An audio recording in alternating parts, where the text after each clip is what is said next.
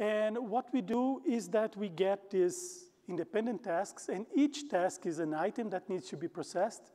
And an item can be an email that needs to be sent, a range of database keys that need to be scanned, a frame that needs to be rendered, and so on. And here we assume that you have such kinds of workload and that each task is independent of each other. So we ruled out uh, workloads where the tasks need to communicate when they're executing, okay? So what are the consequences of having your infrastructure compromised? And to be able to discuss about that, we need to discuss the threat model that we assume here. And we assume a threat model that is very strong, so you have a very powerful attacker. For example, you have an attacker that can get administrative access to the infrastructure because maybe he or she works for the cloud provider or has impersonated an uh, administrator, or because he has compromised the host, the operating system, the firmware, the management interface before. Or even because he has uh, exploited vulnerabilities in the software stack to get root access. And especially when you talk about vulnerabilities in the software stack, it's very difficult to protect against that because it's a lot of software to protect. So you have, for example, 20 millions of lines of code in Linux, 21 million in KVM, 9 million in, in OpenStack. And we know that statistically there are a lot of critical bugs in there. And bugs in, this, uh, part, in the parts that are critical in this software can lead to unrestricted access to data and code. So it's a very difficult thing to protect. And the user of the cloud provider needs to trust in everything that he or she does not control. Okay, so this is the, the threat model. So what can we do about that? So here in the, in the slide, I have an example of the, the applications that we are uh, we are doing right now. And in this example, we have things like smart meters and other sensors connected to a power grid. And these sensors and data sources, they produce information that is collected and stored. And then you have other applications that access this storage to do things like data analysis, billing, uh, detect uh, extreme conditions on the, on the power grid, and if you have an attacker that can compromise the infrastructure, uh, the attacker could change data or steal data from the storage or even modify the applications that are running to leak sensitive data or to modify the computation results. And for example, in the, the smart grid area, it's known that the smart grid data is very sensitive because you can derive a lot of private information from there, like the behavior of the users, the devices that they use on their daily routines, and so on. So we want to protect them. And what can we do? So first we can use encryption for data at rest. So if you implement this correct, what you do? You get the encryption, encryption keys to be provided to the applications as they run, so not stored in configuration files.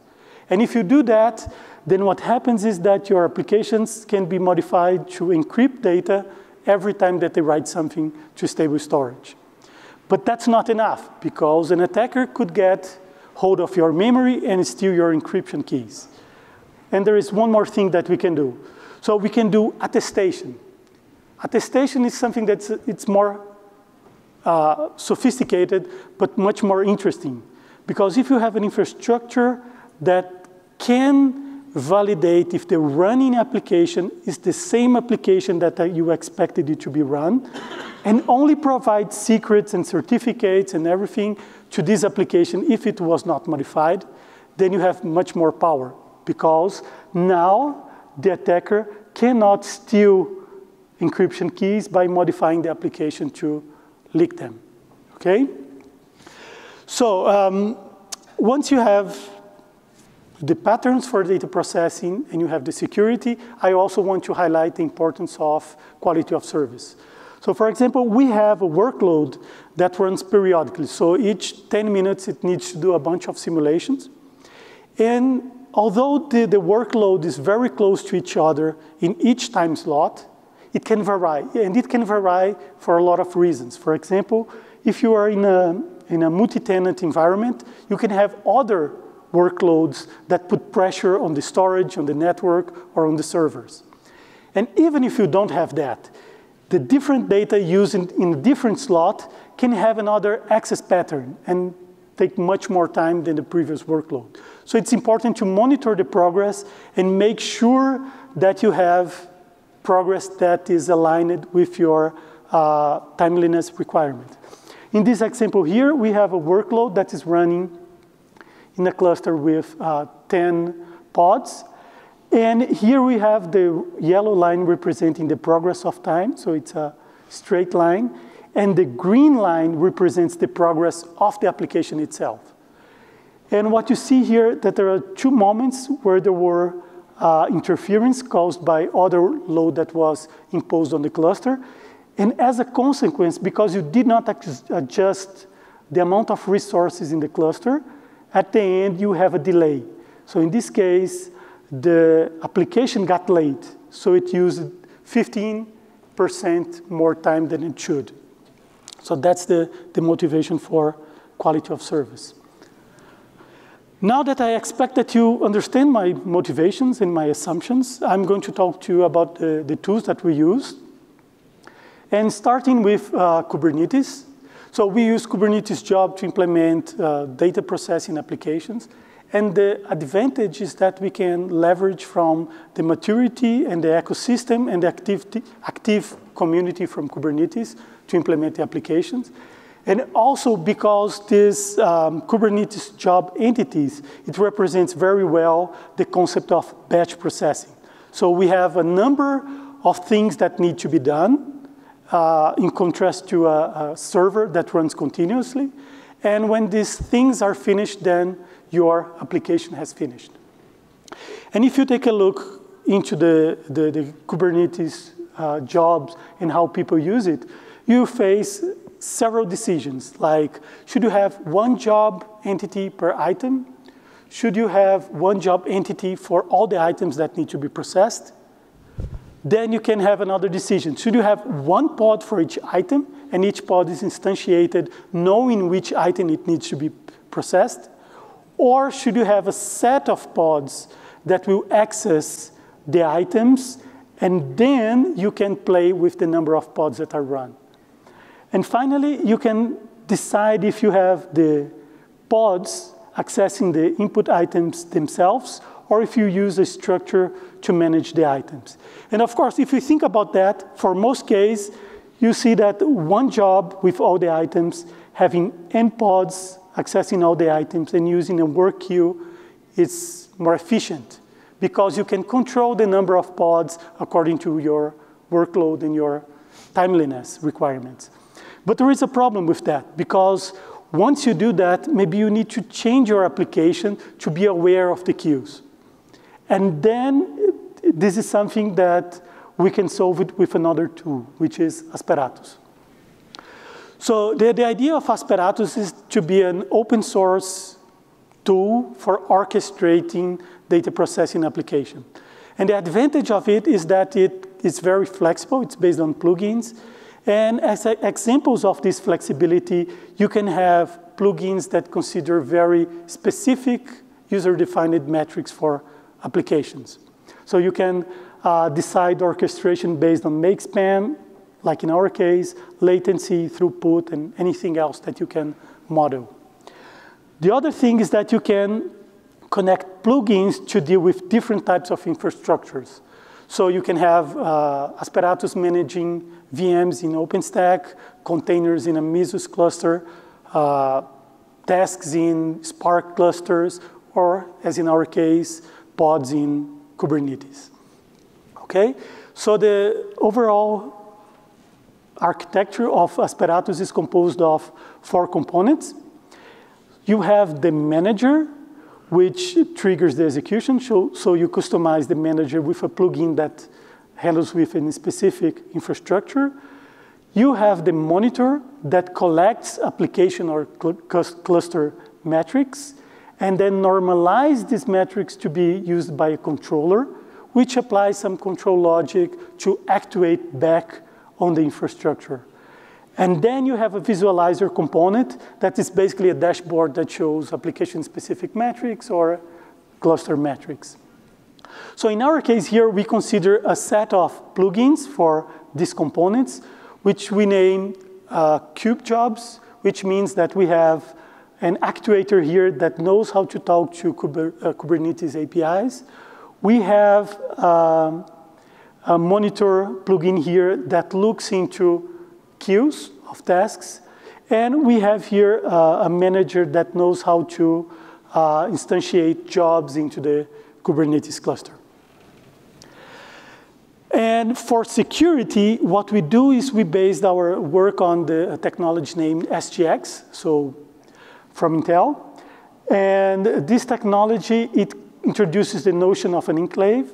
And the enclave is a piece of memory that is protected and isolated from other software running in the same machine. And the idea is that everything that you put inside that enclave is, is measured, so you have a hash of the code that is loaded there, so that later you can ask which code, which code originated that enclave. And then in practice, you have three things. So you have the memory that is isolated, because every time that you write something to RAM, this is encrypted before it leaves the processor, and the keys are inside the processor. You have the measurement of the code that was loaded, because once you load the code, you can later ask for a proof from the processor that that code was actually the code that originated that enclave. And you have these two things protected from other code running on the same machine, even code with higher privilege levels. So um, to give you a visual summary, what happens is that uh, in a typical application stack, you have a very large attack surface that includes the whole application, the operating system, the hypervisor, and the hardware. And if you choose to use this technology, you limit the attack surface to pieces of your application because you don't trust the complete application. You take the operating system and the, the hypervisor out of the equation, and even some parts of the hardware are taken out of the trust base. And, but the problem is, if you decide to use Intel SGX, you may need to change your application. You may need to recode your application to use the SGX uh, features, so creating an enclave, uh, loading data into the enclave. And the specific reason is that it's very hard to do system calls when you are inside an enclave. And to circumvent this problem, you have tools such as Scone that helps you by translating legacy application into applications that we execute uh, into, inside the enclaves. And they do things like they have asynchronous queues to handle the, the syscalls.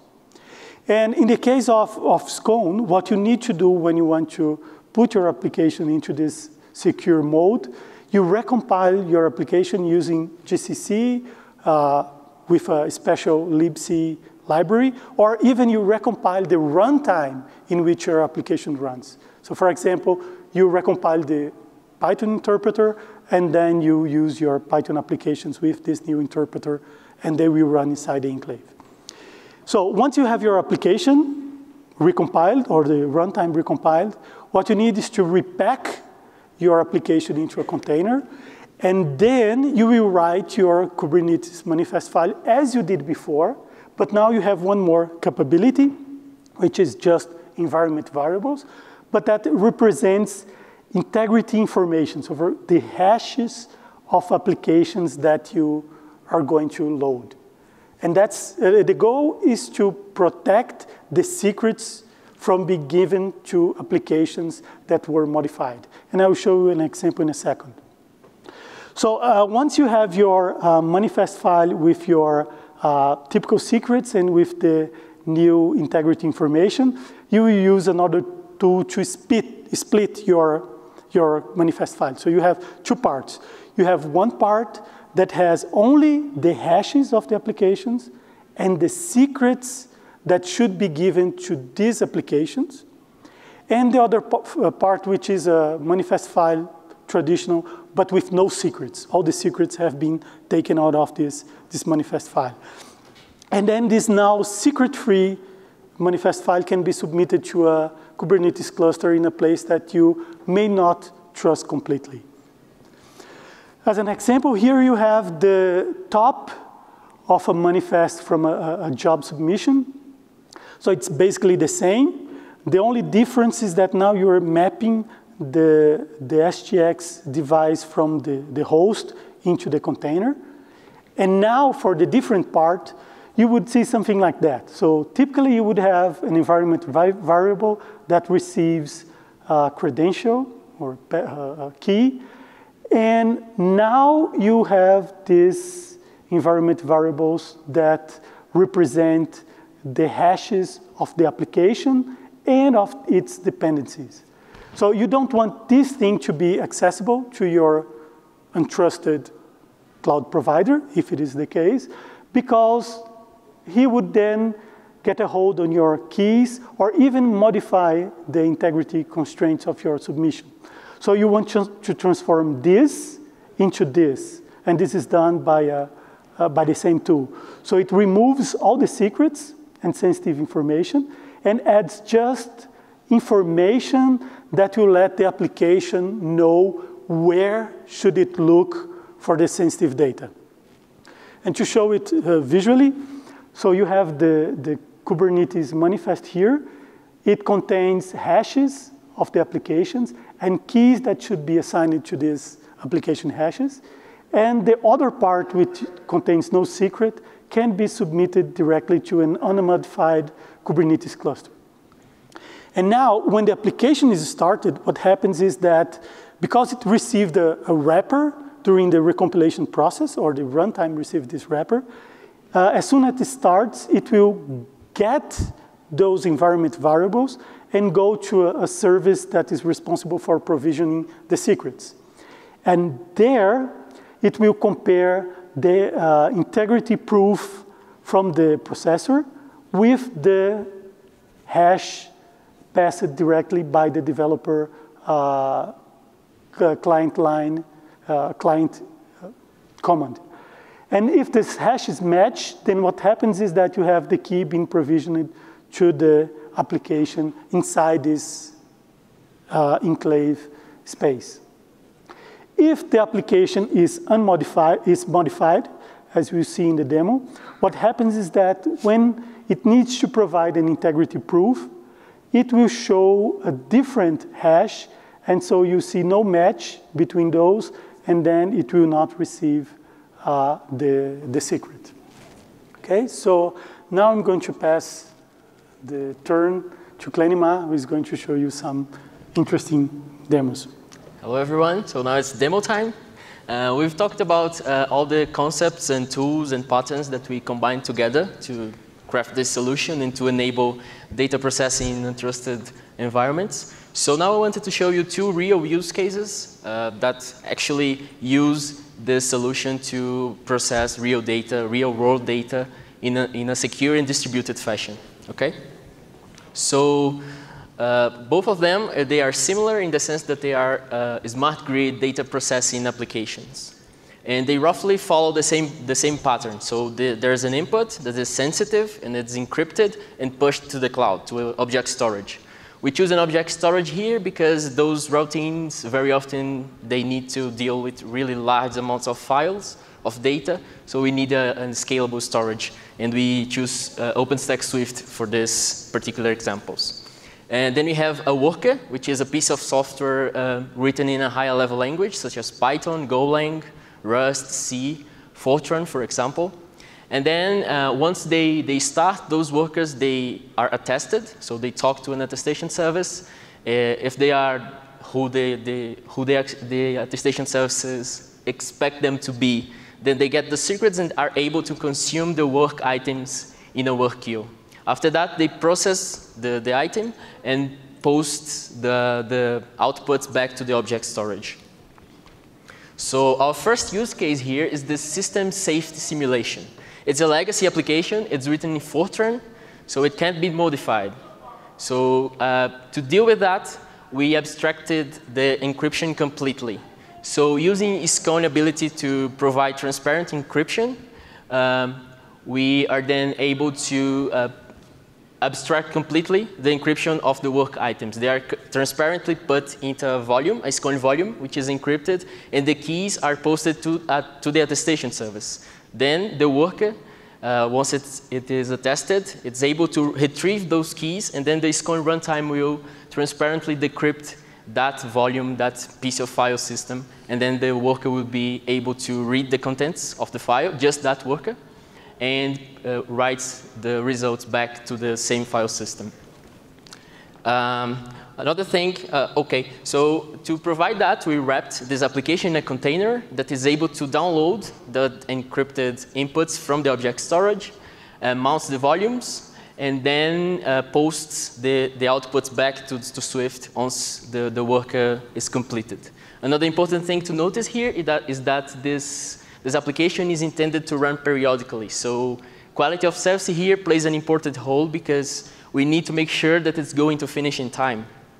So Asperathos here uh, keeps controlling and adjusting the resources allocated to this particular worker uh, dynamically, so we make sure that uh, the deadline specified by the user is met. Is met. And it's particularly interesting in multi-tenant environments such as the application is susceptible to external interference. Uh, to, to make things easier from a, from a user experience perspective, we have built a, a, a, client that is intended to run in the user trusted machine. So this tool, which talks to Asperathos, it's, it's capable of encrypting items and pushing them to the object storage, uh, contacting Asperathos to make a submission, keeps track of the progress of it. It also talks to Asperathos Visualizer to provide custom-made dashboards in Grafana so you can follow the progress of your application in real time. And then once it's completed, it's able to download those encrypted outputs and decrypt them locally in, in your trusted, trusted uh, computer. So our approach was to first recompile the code. It couldn't be changed, so we just recompiled it with a Scone G-Fortran compiler. So it's the same code, but now it runs inside the SGX enclaves. And it's also able to uh, use transparent encryption from the Scone runtime.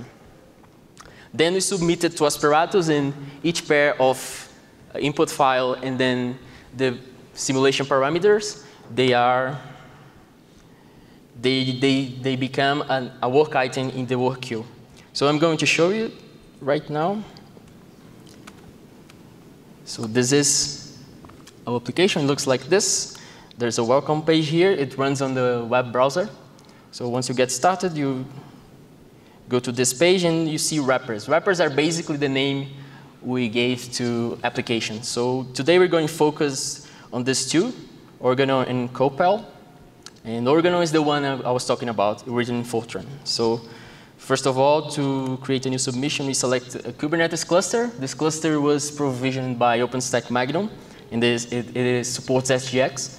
So we can bind the, the, the host, the, the, SGX device into the containers. Uh, we're going to submit the inputs. And the inputs here, they describe the, the behavior of a power system so they are sensitive in the sense that they describe the entire behavior of the system. Of course, you don't want uh, unintended access or tampering to this data. Then we submit the worker, which is the recompiled code, uh, the recompiled binary, Fortran binary that runs inside of enclaves. Then we give some QoS parameters, so I, I expect it to finish in 50 seconds. And I also give a minimum and the maximum amount of concurrent workers that the controller is able to, to provision.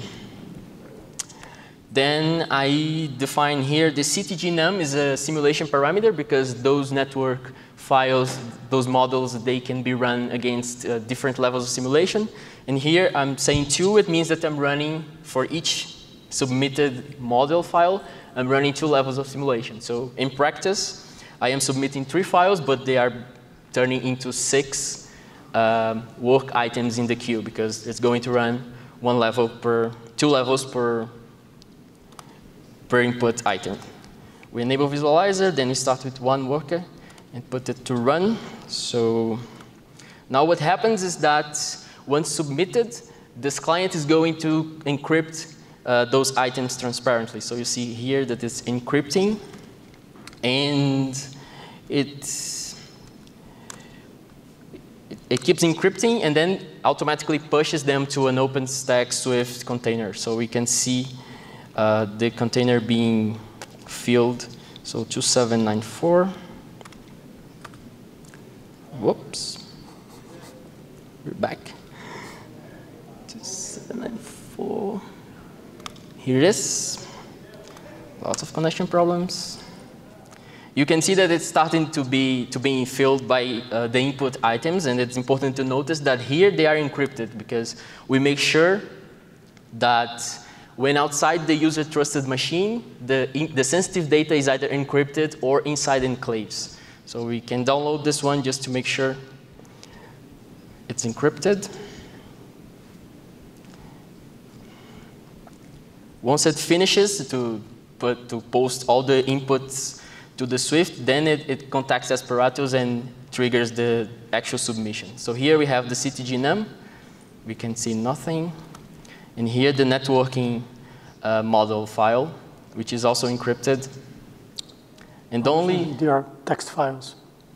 Yes, yes. And they, only the worker, once attested, is able to see the content of those files and process it without any change and without having to know anything about cryptography.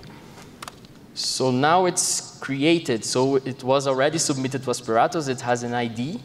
So currently, Asperathos might be provisioning all the services it needs to, to run this distributed. So it provisions a Redis, which is a backend for our, our work queue a Grafana, which is our dashboard, and an InfluxDB to store the metrics.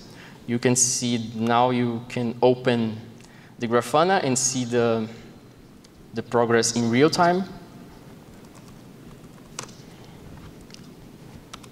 You go to submission. You have a dashboard here. You, uh, the, the, the yellow line represents the passing of time, uh, while the, the green line represents the actual progress of the job. You can see that it was late, but now the controller kicks in and starts to provision more Uh, concurrent workers in order to try to meet that deadline, respecting the minimum and maximum amounts I specified. So now it's probably close to finish, 75%. So, okay, so now it's finished. And when I go back, it says completed. And now is the next step, which is the client will then download all the encrypted output files that are now in Swift and we'll decrypt them locally. So if we go to Swift, so it's now decrypting items. If I go to Swift 2794, output, you can see a lot of things here. I can download any of them. And there's, this is the outcome of the simulation, but again, it's encrypted. By now, the client already downloaded everything, and when it says finished, it already decrypted. So I can go to details and see all my output files decrypted. So I can download any of them. And when I open, now I see the actual results of those uh, computations. So uh, this, is what, this was the first use case. So here we showed how we leveraged all our, our solution to provide a distributed and securely uh, execution to a legacy application that, without any change, was able to have uh, confidentiality and integrity guarantees. So now we have a second use case, which is a bit different in the sense that it's a bit new. So it's a Python, it's a Python script that knows about encryption. So now the user, the user is able to encrypt the files himself, and then it just pushes the, the, the, decryption key to the attestation service. So once the, the workers start, they run, they run with a Python interpreter that was compiled with Scone compiler, so it runs inside of enclaves. But before starting, they contact the attestation service that only enables them to run and give, gives them the secrets uh, injected inside the enclave if they are uh, who they need to be, who, they, who the user uh, put there in the attestation service. So it make sure it wasn't changed at all. Um, after that, uh, the, the client pushes the, the, the, files to Swift. This is a bit faster because they are already encrypted, so we don't need to encrypt them transparently. And then we pushes the, the key to the secret management service, and then the worker is able to start. After finished, it then pushes the results back to the cloud, either to a database or to an, to an object, object storage. so I'm going to run this second use case here. Going back to our home screen. So Copel, Copel is a partner of ours. It's a power company from Brazil. So this application runs uh, smart meter data analysis. So the files here, they are sensitive in the sense that they, they are real uh, meter uh, metrics from real users. So they expose the entire consumption behavior of real people. So they shouldn't be uh, unprotected in the cloud. And we again put the same parameters. Now it's a bit different because as we run in Python, we don't provide the binary, but we provide a Docker image. So we crafted this one.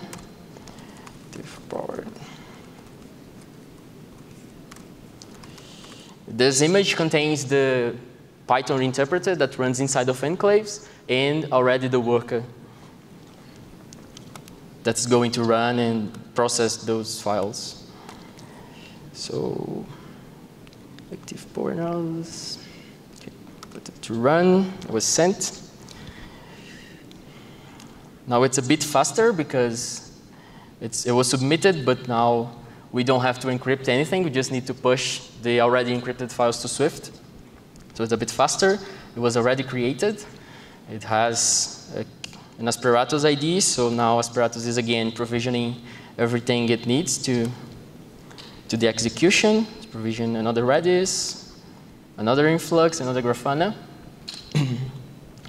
and soon it will be able to run to, to install the actual workers to take the data, process it, and push the results back to Swift.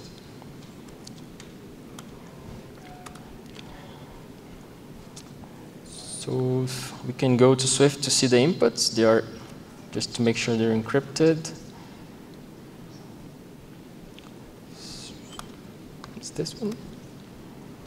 So you can see that it's already running here. So it's ongoing, so we can also say the Grafana, it's finished.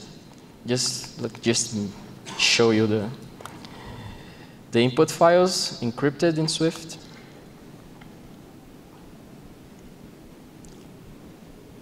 Okay, everything encrypted. It's finished, so it's downloaded everything already. So if I go here, I can see the, the, the calculation, which is an aggregated metric to, uh, to, the, to the inputs of the, the smart meters.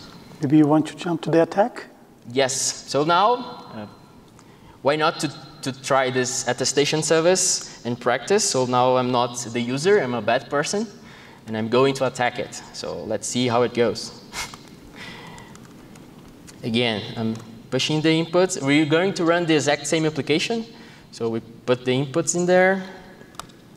We don't need to take this. The very same thing. But now, just to make things more clear, uh, we crafted another image, which is the same, but it has a little delay on it. Just the time for me to get inside the container and change the code to leak everything I want, okay? So it's the same, but this is low, this one. So it keeps uh, sleeping for one minute, two minutes is the time I need to go inside the container and try to, to mess with the script, okay? So enable everything again. What is it? Okay, run. Again, it's going to be uh, the, the same process. It's going to push everything back to Swift, the, the inputs that are already encrypted. And as soon as it starts to provision things, I can I have access to the cluster. God knows how I got access to the cluster. I'm a bad person. Now. And I'll just wait for them to show up and go inside the containers and try to, to modify the application. So it's now provisioning Grafana. Let's see if we can, should be appearing at any moment.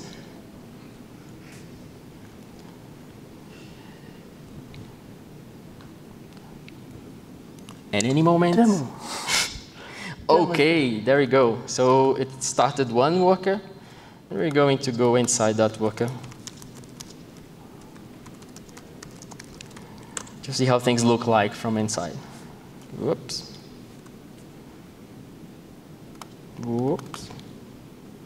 Is this the VPN? Maybe I put the wrong image. Mm-hmm.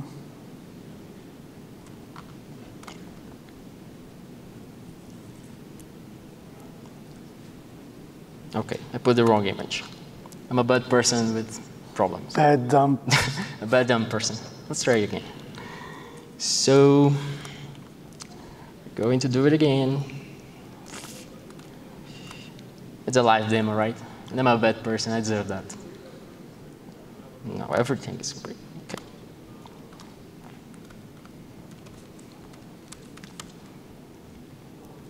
So,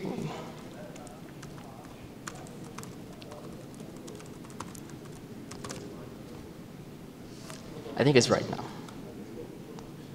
Neighbor again, one, run.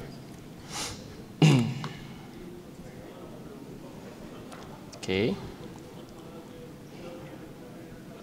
Again, posting everything back to Swift. And the goal is to show how the attestation process works in practice. So uh, hopefully the, the attestation process will fail and the worker, the compromised worker, won't be able to see anything that it's not intended to see. And that works also for libraries in, in case of, uh, in case of uh, Python applications. So let me just hurry up because we're running out of time.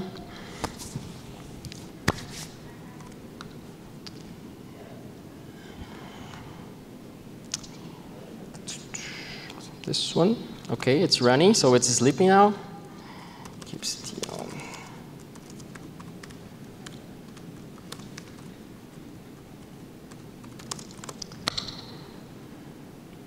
Okay, hmm? now I'm inside the container, so go to app, see how things look like. You can see a run, so it seems like something I want to go go there. So just a hash, just to make things fancier. And then we're inside the worker. So what we want to do? So let me put some things to std out. Print a key. What about the coded data? Does it sound good to you?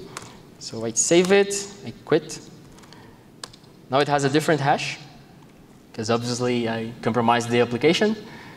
Let's now hope everything goes well. Actually, I can start to see, uh, I can keep seeing the logs. So it's, still sleeping, very sleepy worker.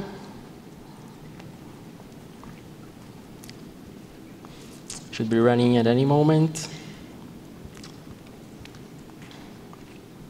Okay, it tried to run, it contacted the attestation service, but guess what? It was modified. So no secrets were delivered to this specific worker. So it, it wasn't able to see any uh, encrypted data and get the secrets delivered to the enclave. Okay, so now maybe jump to the conclusions. Okay, so let's have a slide. Just to finish everything. So conclusions and links. So a brief recap here. So today we saw how we combined um, Kubernetes jobs, the notion of jobs, the native resource in Kubernetes uh, with Intel SGX and Scone uh, to extend Asperathos to support and provide uh, data processing with QoS uh, constraints being respected, uh, dynamic scaling of, of resources, uh, even to legacy applications that don't need to be modified at all. So if you want to know more about it, go to our repo at GitHub. Uh, there's a Kickstart guide there if you want to try yourself. So there's a there's a, a simple example there with a work queue, and you can see uh, in detail how the orchestration and the, the attestation works. And if, you more if you're interested in know further about SCONE, go to their website. They have uh, good tutorials there, especially this one about Blender, which uh, teaches you how to run uh, sensitive image processing in remote untrusted clouds. If you want to see even more uh, use cases and tutorials, go back to our, our repo and stay tuned. So this uh, Asperathos, SCONE, and KubeJobs, they have been funded by the third and the fourth EU coordinated calls. Um, here you have pointers to the repo again and also to papers we've submitted and published uh, this year's. Okay? So thank you very much. So thank you all. Thanks for coming. Not sure if you have time for questions. Do we? Do we have time for questions or questions? No? It's a no. We'll be around. Okay. We are. thank you very much.